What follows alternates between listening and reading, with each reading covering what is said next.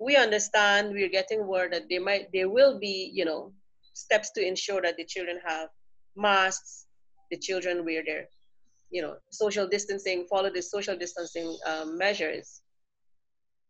But it still raises the question of the end result that when children would have received their scores how valid how reliable how credible might these be understanding that children students are forced to write the sit-on examination in these conditions, right? So th those all raise questions of, you know, why the why the push and the rush to get this done.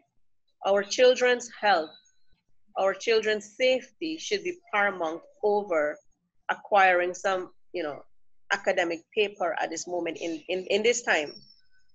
In addition to the, the setbacks that indigenous students and hinterland students have always been experiencing with regard to the access to uh, quality education. And quality education, not in the sense that they don't have trained teachers or teachers who don't work hard enough. We have teachers who work very hard in the hinterland.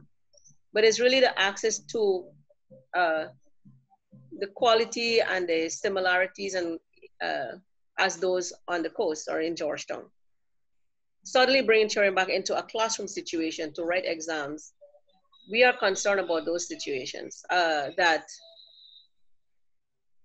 you know there was some some effort to get working papers.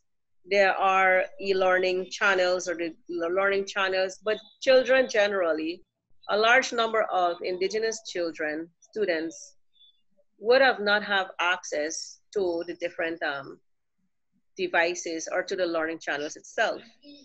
So number one, as I said, the loss of opportunity for refresher, um, the momentum from the continuous, you know, work on with the CSEC students and all of that would create a gap for our for our children and our students in primary school at the grade six and at the CSEC um, student level so there, there are numerous, uh, numerous issues, numerous situations that would say, or that would question the reliability of results. If we're aiming to, to have exams to get some kind of grades,